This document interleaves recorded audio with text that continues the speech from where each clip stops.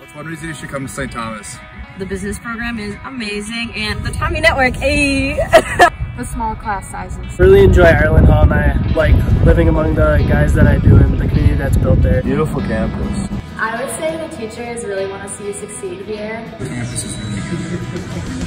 Of the smaller classes, that means you can easily have a one-on-one -on -one interaction with your professors and do well in your studies. The professors are really nice. The campus is very beautiful. Community feel.